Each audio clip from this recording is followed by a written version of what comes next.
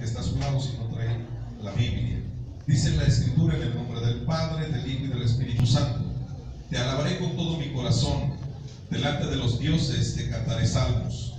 Me postraré hacia tu santo templo y alabaré tu nombre por tu misericordia y tu fidelidad, porque has engrandecido tu nombre y tu palabra sobre todas las cosas. El día que clamé, me respondiste. Me fortaleciste con vigor mi alma. Te alabarán, oh Jehová, todos los reyes de la tierra, porque han oído los dichos de tu boca. Y cantarán de los caminos de Jehová, porque la gloria de Jehová es grande. Porque Jehová es excelso y atiende al humilde, mas al altivo mira de lejos. Si anduviere yo en medio de la angustia, tú me vivificarás. Con la ira, contra la ira de mis enemigos, extenderás tu mano y me salvará tu diestra. Todos juntos, Jehová cumplirá su propósito en mí. Tu misericordia, oh Jehová, es para siempre. No desampares la obra de tus manos. Ocupe su lugar.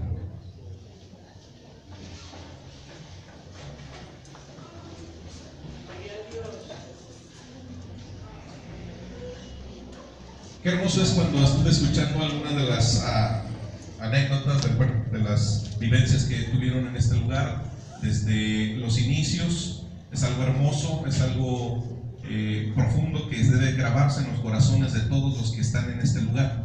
La vida de mis hermanas, las dos que han partido, creo que son parte fundamental de la historia del inicio de algo. Y ese algo fue, fue y fue creado en el mismo corazón de Dios.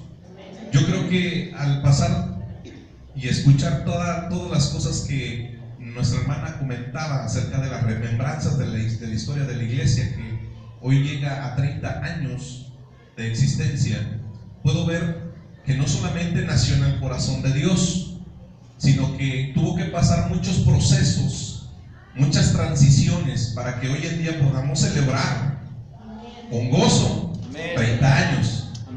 Porque saben, ah, Dios es un Dios de, de amplitud, un Dios de propósito, un Dios de promesa. Y, y yo lo veo de esta manera porque creo que eh, hoy que ustedes en particular, y me siento agradecido con Dios por la oportunidad que me da de estar aquí y predicarles de- en esta tarde, llegar a 30 años será una edad exacta para ver la mano gloriosa de Dios nuevamente en la vida de su pueblo. Amén. Bien. Eh, gratitud, gozo, esperanza y visión son los principales pensamientos que vienen a nuestra mente cuando llegamos a una edad ya de 30 años. A 30 años se dice fácil, sin embargo, al escuchar los testimonios, pude darme cuenta que también han sido épocas difíciles, épocas en las cuales se sufrió de un siervo, eh, venía uno, pasaba otro, pero sabe, Dios en su corazón siempre dice su palabra que mandará un pastor conforme al corazón de su pueblo. Y entonces, 15 años me parece que vas a cumplir, hermano, en este enero, 15 años ya, ya dice algo el respaldo de Dios sobre la vida del, del varón, sobre la vida del siervo del Señor en este lugar. Y esto me llena de gozo. Entonces, vienen circunstancias en las cuales la iglesia ha pasado y las ha pasado como pruebas de fuego. Han ido unos, han venido otros, familias se han retirado. Escuché tristemente que algunas de las que iniciaron ya no están caminando. Oremos, decía mi hermano, oremos por ellos todavía. Y sabe, porque mientras hay tiempo hay esperanza. Eh, este tiempo hermoso que Dios les permite eh, arribar es tiempo en el cual usted y yo debemos de meditar algo. Debemos de meditar que si Dios ha permitido y hasta el día de hoy permite estar de pie, es porque su obra necesita crecer y, tener una amplitud mayor.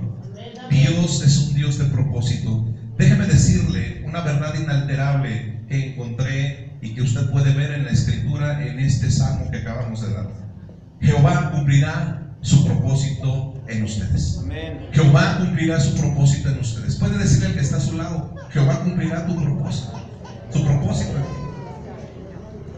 Quizás cuando llegamos a este lugar, y, y lo digo por los pastores, ah, no sé cómo lo hayan encontrado, embargo, eh, yo creo que fue un reto, un gran reto para ellos.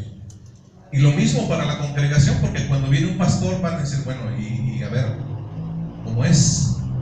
Eh, ¿Cuáles son sus eh, necesidades, y etcétera? ¿Cómo predican? Pero yo creo que cuando Dios ha puesto un, un siervo de Dios al frente, es para que el pueblo sea edificado, sea confrontado, sea retado. Porque definitivamente el Señor no es un Señor que esté quieto, un Dios, un Dios no, es un Dios inactivo, es un Dios activo. Es un Dios que nos lleva hacia una, una perspectiva mayor cada día. Entonces, cuando encontramos esa verdad inalterable que eh, Jehová cumplirá su propósito en este lugar y en nuestra vida, es una declaración de confianza en la inmutable personalidad de Dios y su firmeza para cumplir sus promesas. Santiago capítulo 1, verso 17 dice la escritura que en él no encontramos, no hay mudanza ni sombra de variación. Es decir, él no cambia. También la palabra en Hebreos capítulo 13, verso 8 dice que Jesucristo es el mismo de ayer, de hoy y por los siglos. Entonces, si Jesucristo, si Dios nuestro Padre eh, tiene ese propósito en nosotros, seguramente Él la cumplirá conforme a sus riquezas en gloria. Bien, cuando nosotros entendemos que su propósito se tiene que cumplir en este lugar, es un lugar en el cual participan tres, tres, tres personajes importantes, Dios, el siervo y la congregación. La congregación es parte fundamental el siervo también es parte fundamental, pero el que debe estar en primer lugar, obviamente, ¿quién es? Nuestro Dios. Amén. Y cuando eh, el, propósito se cumple o se está cumpliendo, esto se amalgama. Dios, el siervo y la congregación para dar un resultado efectivo. ¿Sabe? He encontrado que en este tiempo, yo no sé si usted se ha dado cuenta, el tiempo que estamos viviendo como sociedad, como iglesia. Se ha estado convulsionando nuestro Estado, nuestro México, en un sinfín de problemas. Y sabe, la iglesia ha dejado de ser, Dios ha dejado de ser la opción número uno en el corazón del hombre. Dios ha dejado de ser el número uno en el corazón del hombre. Cuando el hombre tiene problemas, lo primero que usted escuchaba antes es, ve a la iglesia, ve a tal lugar porque ahí vas a encontrar solución. Hoy no. Hoy encontramos que nuestro México, nuestra generación, esta generación en la cual estamos viviendo, no es la opción eh, primordial de llevarlos al Evangelio. La opción que ellos dan es, bueno, hay que buscar alternativas. Sin embargo, precisamente Dios hoy les da 30 años para cumplir 30 años en la que ustedes recuerdan lo que cómo iniciaron, pero sobre todo hoy es necesario cambiar nuestra perspectiva de vida para ver qué es lo que vamos a ofrecer otros 30 años más.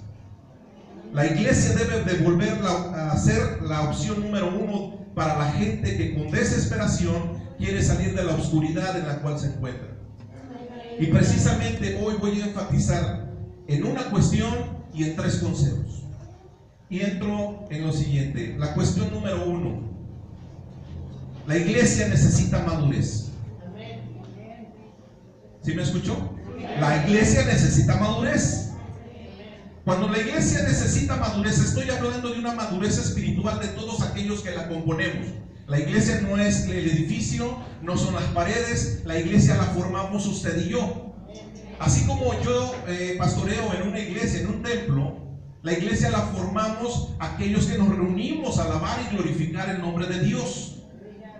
Pero yo también me he encontrado, bueno, no sé si aquí, pero yo me he encontrado que en algunas eh, congregaciones, igual en la mía, encuentro cristianos de azúcar, cristianos de chocolate. ¿Cuáles son esos? Bueno, los cristianos de azúcar son los que se derriten cuando llueve y no vienen ni siquiera al templo. Los de chocolate, porque hay sol, se derriten, no pueden venir al templo. Hay cristianos sensibles, no le pueden usted decir algo porque entonces se escaman, se, ponen sensibles de la iglesia. Yo le pregunto a usted, ¿cuánto tiempo tiene de conocer en el Evangelio? ¿Un año? Por ahí escuché a mi hermano que pasó dos años, creo que tiene por aquí. Pero yo creo que hay, hay, hermanos, hay familias que tienen 10, 15, a lo mejor 20 años, 30, no sé. Y debe llegar la etapa de madurez a nuestra vida como cristianos. La madurez es importante. Primera de Corintios capítulo 13, verso 11. El apóstol Pablo, hablando a los corintios, les decía, cuando yo era niño, hablaba como niño, pensaba como niño, juzgaba como niño. Mas cuando yo fui hombre, dejé lo que era de niño. Y esto es algo importante, es básico en la, en la historia de una iglesia. Necesitamos madurez. Cuando enfatizamos en la madurez de una iglesia, es un tema muy importante, puesto que esto trae consigo avance, visión y crecimiento. Cuando hay madurez en la iglesia, hay avance, hay crecimiento, pero también hay visión de parte de Dios. Cuando no hay madurez en una iglesia, ¿saben? Se pierde mucho tiempo en estar corrigiendo cosas que realmente son sencillas en la vida del creyente. Creyentes sin carácter que frenan el avance de la obra de Dios. Espero que no haya de esos aquí. Pero si hubiera, hoy Dios nos dice y nos confronta, necesitamos madurez. Necesitamos ser ejemplo de una madurez cristiana. Para que el avance de la obra del Señor sea perfecto, vaya creciendo, vaya hacia arriba. Dios no va a cumplir su propósito si usted no es maduro. Si usted no es maduro, Dios no puede hacer algo más por usted. Usted necesita ser confrontado en diversas circunstancias, en problemas, en enfermedades, en muchas circunstancias para que su carácter sea bien definido, para que su carácter esté maduro, para que su carácter sea implantado, amado, en el carácter mismo de Cristo Jesús. Cuando eso existe en nuestra vida, cuando la madurez llega a nuestra vida, ¿sabe? podemos dar fruto y fruto en abundancia. Miren, note esto de manera natural.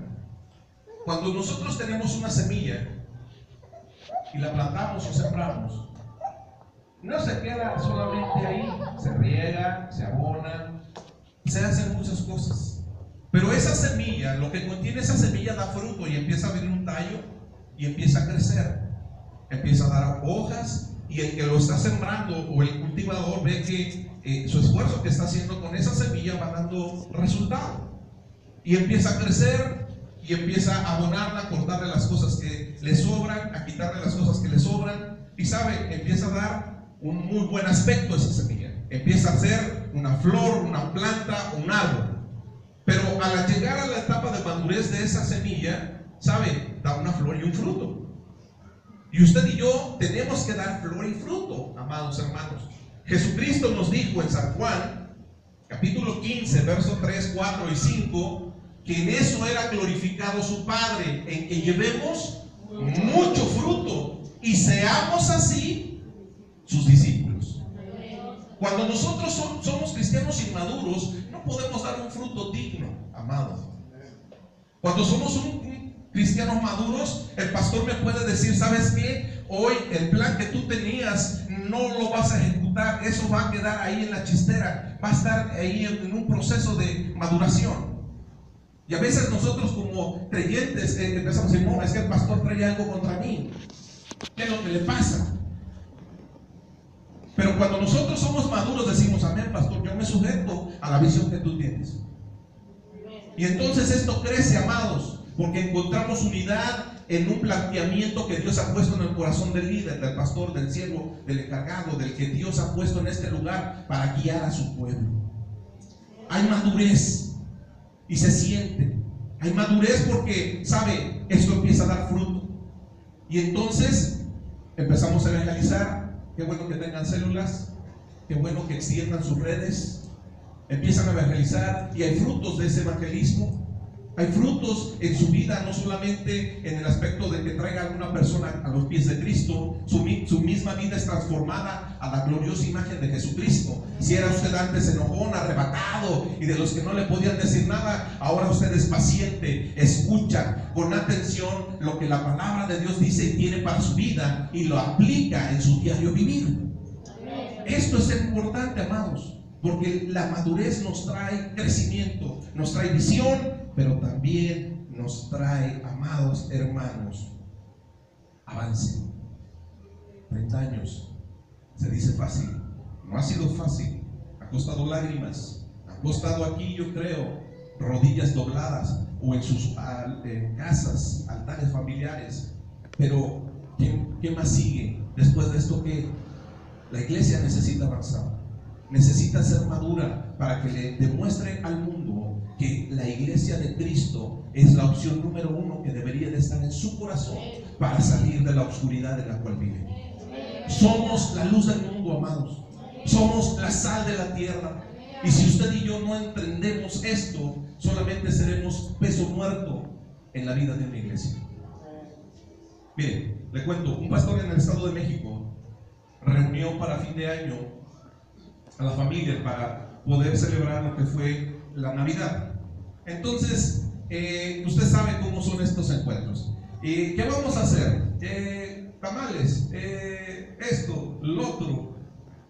Resulta que la hermana que de la familia que pedía tamales que se hiciera, se molestó.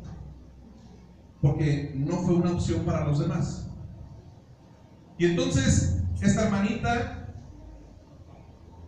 después del día domingo que se iba a celebrar eh, e, esta reunión.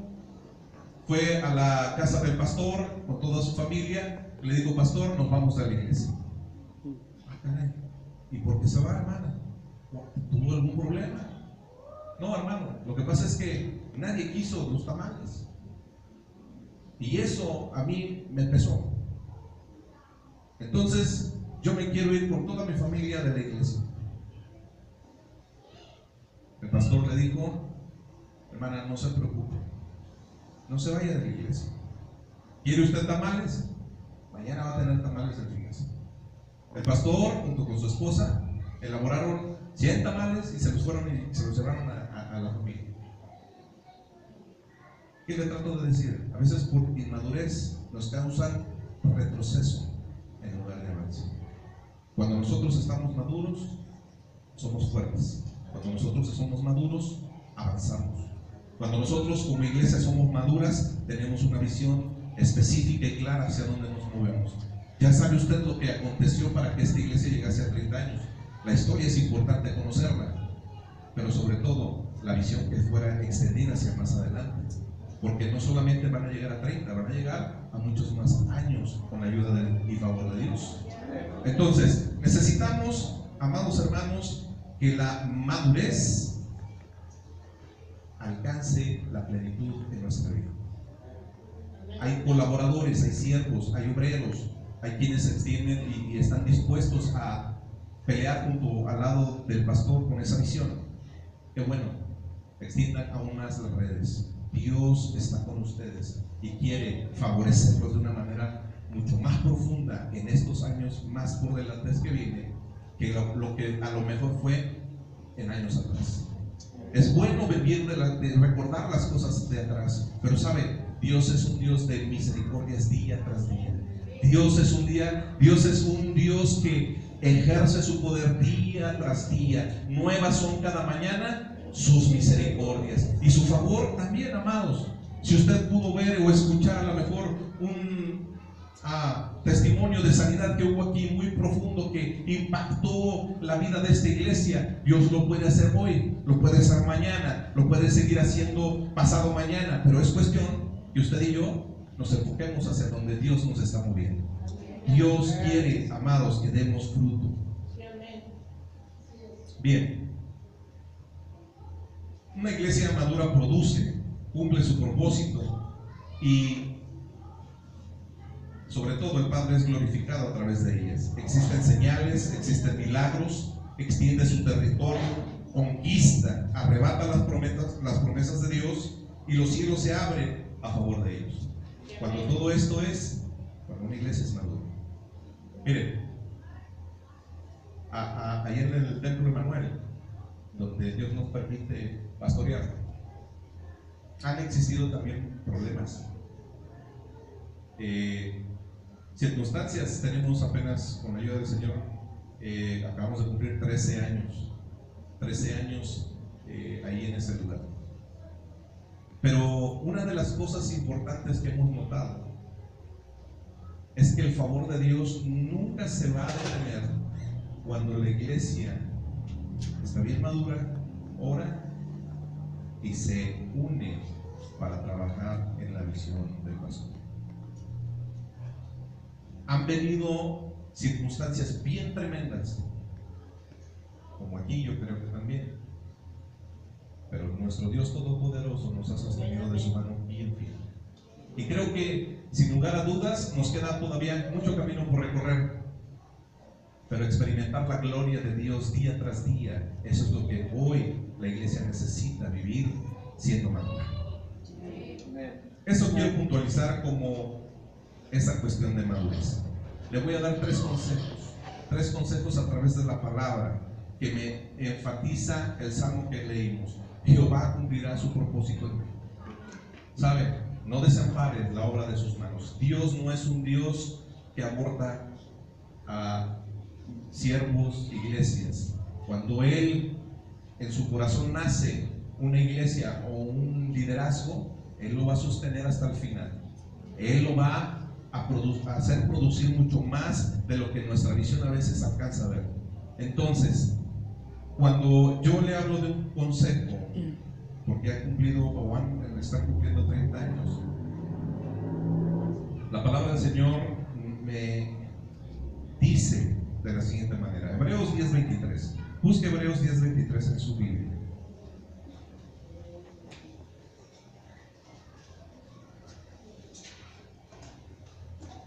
La escritura dice, mantengamos, mantengamos firme, sin fluctuar, la profesión de nuestra esperanza, porque fiel es el que prometió. El primer consejo es mantenernos fieles. Dígale al que está a su lado, hay que mantenernos fieles.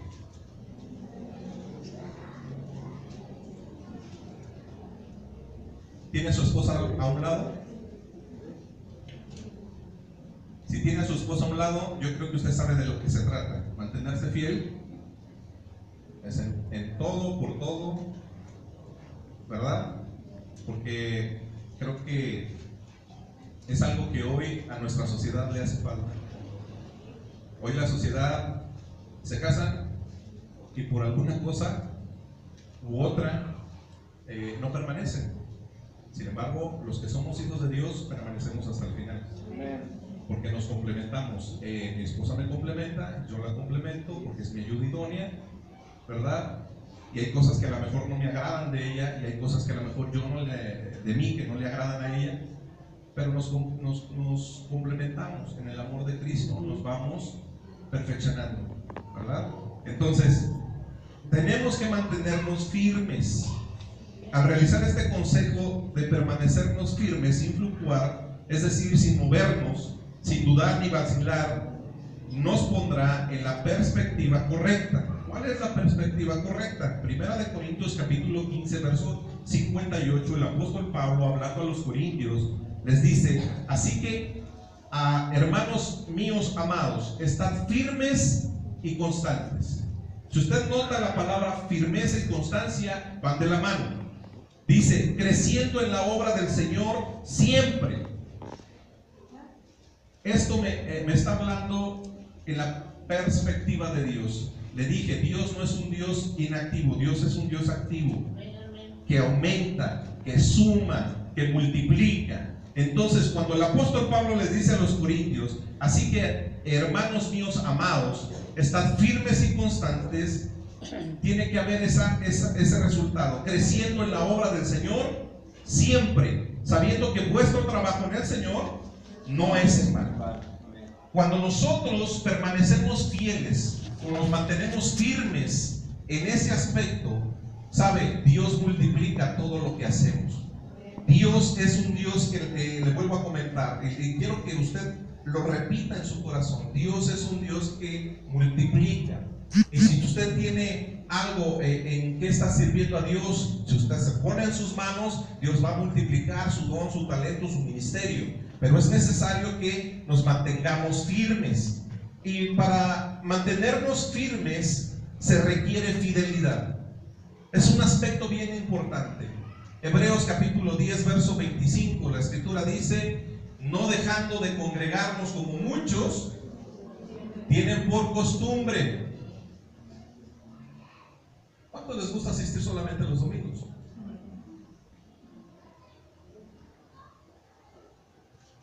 ¿Quiénes vienen todos entre los actividades? ¿Cuántas actividades tienen aquí en la semana? Pues hay células, miércoles, ¿Cuántos van a todas esas ah, actividades? Hermana. Gloria a Dios. Para mantenernos firmes requerimos fidelidad. Dios requiere fidelidad, amados.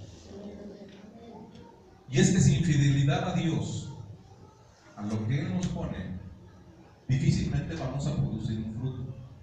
Miren, cuando usted prende un eh, carbón para asar carne, todos esos carboncitos o carbones se encienden y dan una buena llama, ¿verdad?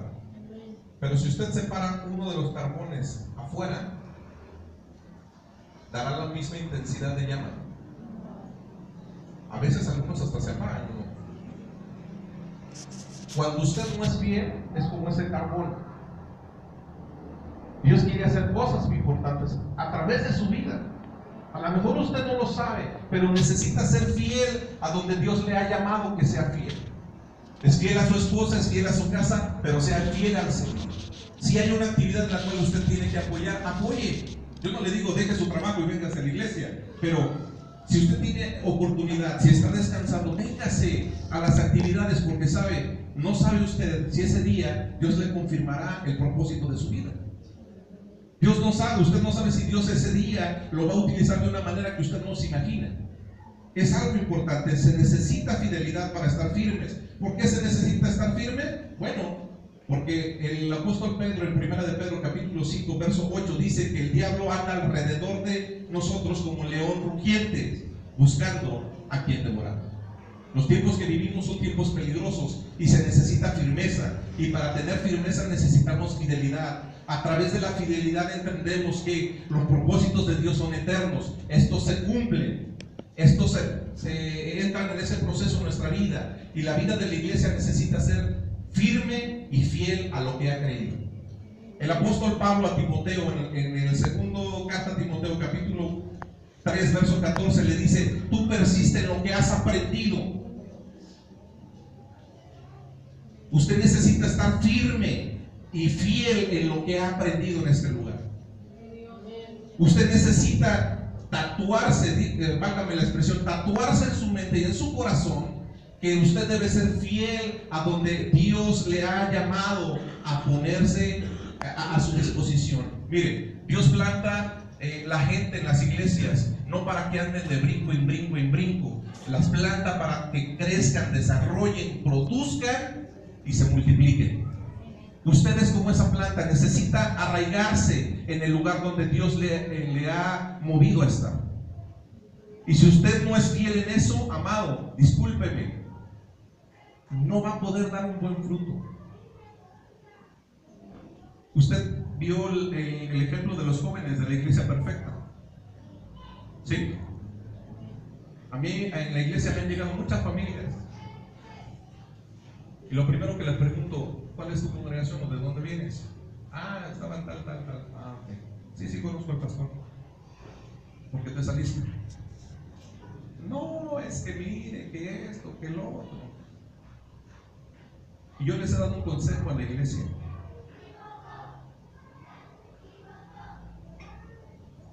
No evangelizamos o no traemos gente de otra iglesia. Porque Dios no nos ha llamado a evangelizar los que son evangelizados, o que están evangelizados. Dios nos manda a evangelizar a aquellos que no conocen de Cristo. Y cuando vienen estas personas y nos dicen estas, ok, bien. Ahora déjame llamar a tu pastor para que me diga su versión. Porque la cara tiene dos monedas. Más bien la moneda tiene dos caras. ¿Verdad? Lo hago para que esté despierto. Y cuando les dice uno así, empiezan a titubear. ¿Por qué? Porque son inmaduros. Porque no se sujetaron a lo establecido en su iglesia. No quieren ser firmes, no son fieles. Y si lo hicieron en su casa donde nacieron, lo van a hacer donde, donde lleguen, amados. Si usted nació en este lugar, o, Dios le permitió estar en este lugar, asista regularmente. Afírmese, sea fiel. Dios tiene propósitos enormes para su vida, pero necesita de usted fidelidad. Para mantenernos firmes necesitamos fidelidad, pero también se requiere diligencia. ¿Cuántos son diligentes en este lugar? ¿Cuántos están prestos cuando el pastor dice, ¿saben qué? Hoy tocaba célula, pero hoy nos vamos a ir a evangelizar. El Señor me ha puesto en mi corazón ir a este lugar.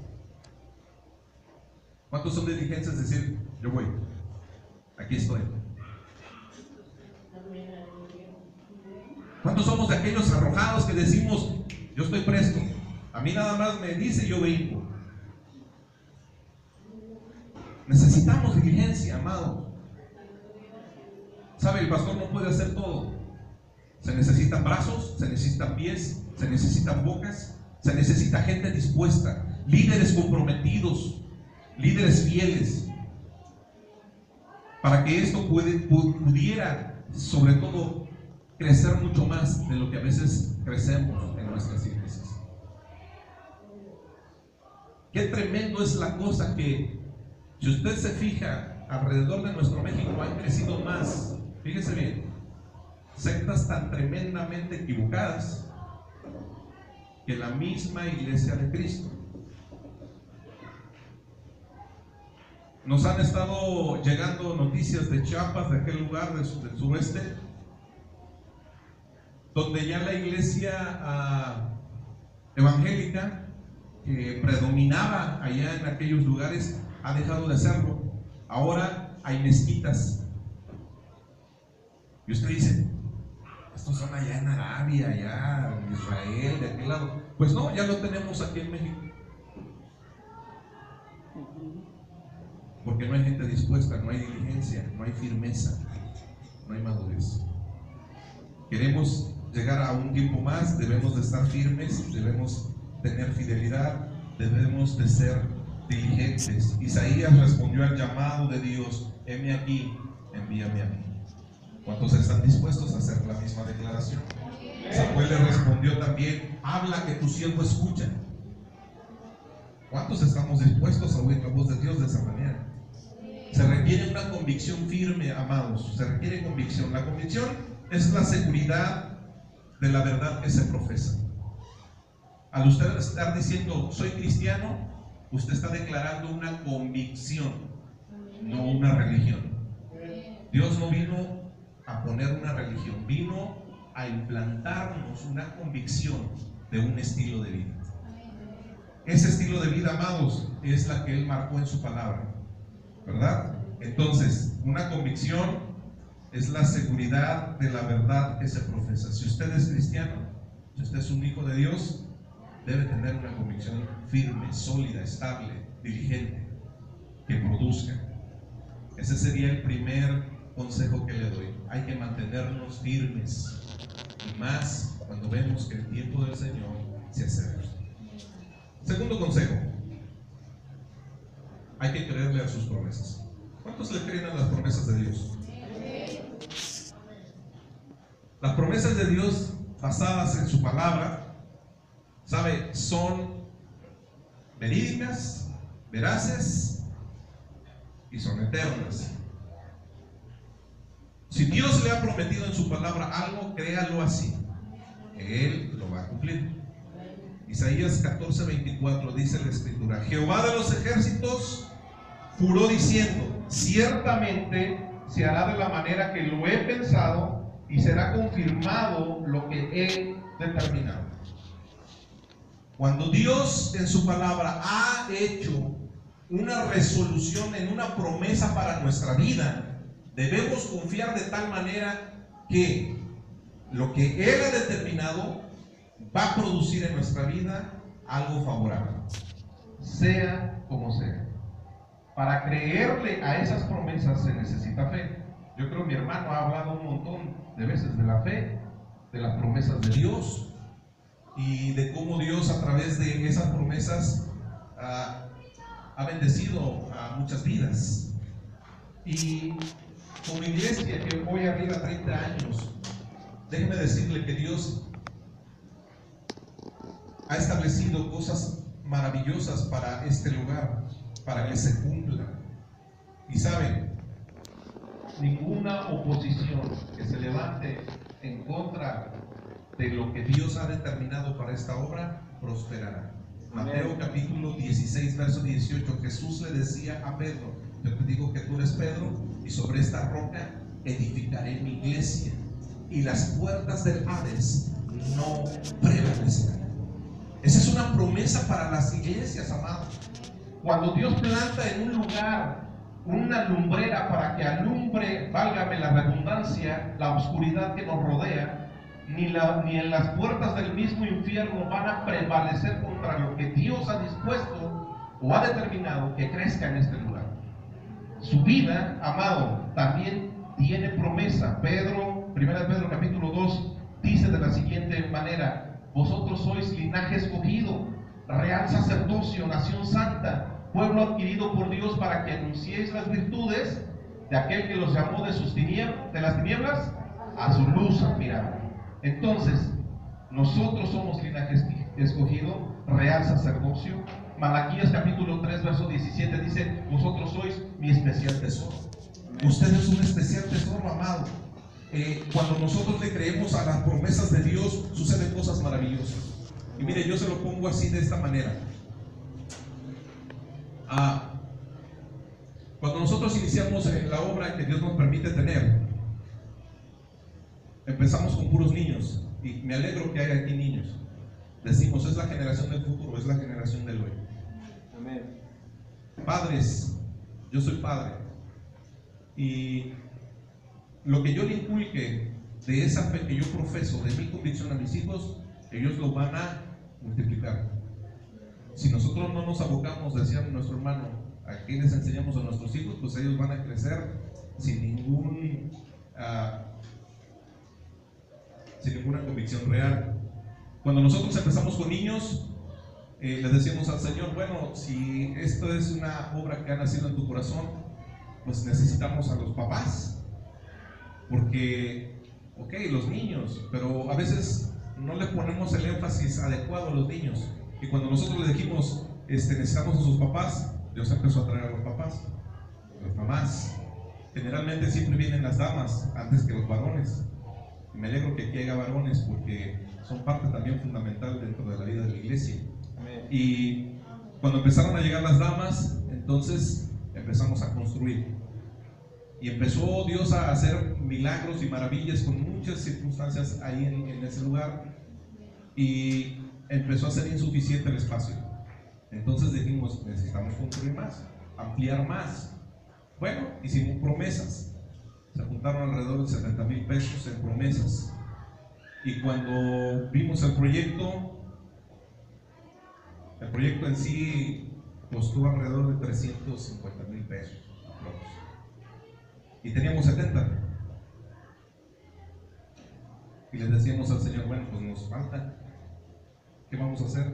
Pues creerle a su promesa. Las riquezas de este mundo provienen de Dios o no. Y los hijos del mundo también favorecen a la obra que Dios quiere que se continúe. Y saben, con 70 mil pesos construimos, porque todo lo demás lo pusieron gente que no conoce de Dios. El techo una gente que es inconversa dijo, yo te regalo todo el techo. Gloria a Dios.